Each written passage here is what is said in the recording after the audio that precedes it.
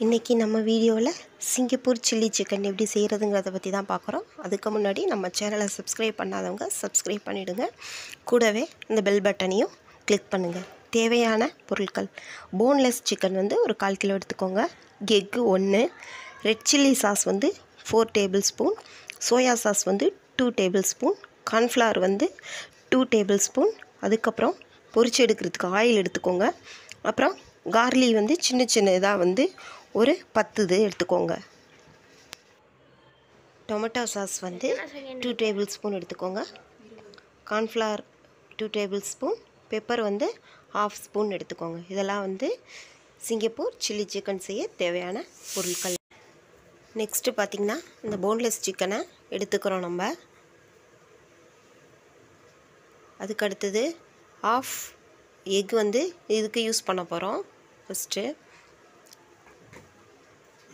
அதுக்கடுத்தது tomato sauce வந்து two spoon use பண்ணுறோம் அதுக்கு அடுத்தது ரெட் சில்லி சாஸ் வந்து டூ ஸ்பூன் இதுக்கு யூஸ் பண்ணுறோம்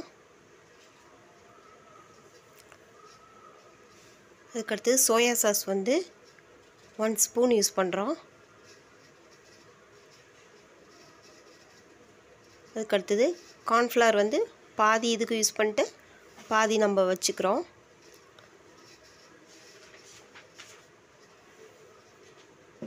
இதில் அதுக்கடுத்தது இதுக்கு தேவையான அளவு உப்பு போட்டு நல்லா நல்லா மிக்ஸ் பண்ணி உப்பு பத்து நிமிஷம் வச்சுடுங்க.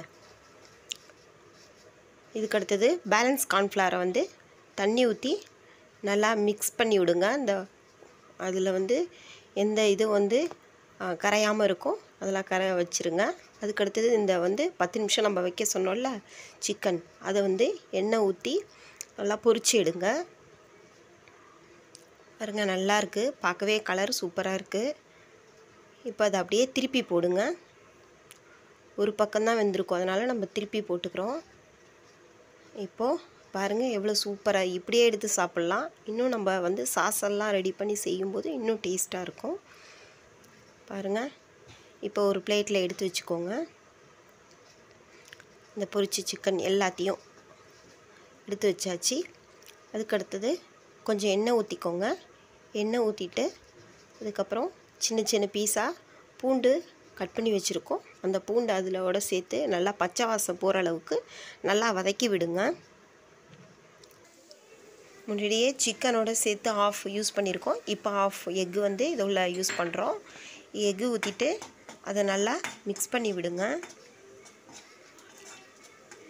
பாருங்கள் இப்போ நல்லா ரெடி ஆயிடுச்சு.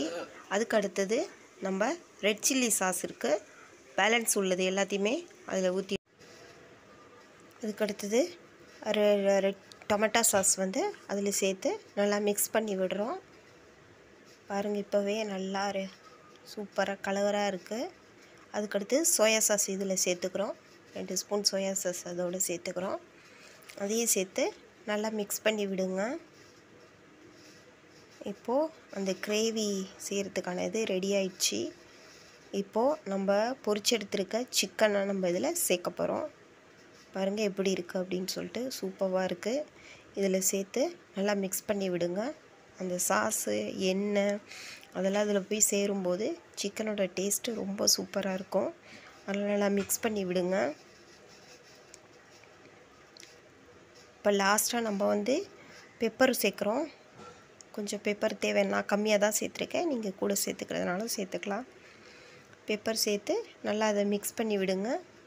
நம்மளுக்கு தேவையான சிங்கப்பூர் சில்லி சிக்கன் ரெடி ஆயிடுச்சு. இதே மாதிரி உங்கள் வீட்டில் செஞ்சு பாருங்கள் அப்படியே நம்ம சேனலை பற்றி கமெண்ட்ஸ் பண்ணுங்கள் நன்றி வணக்கம்.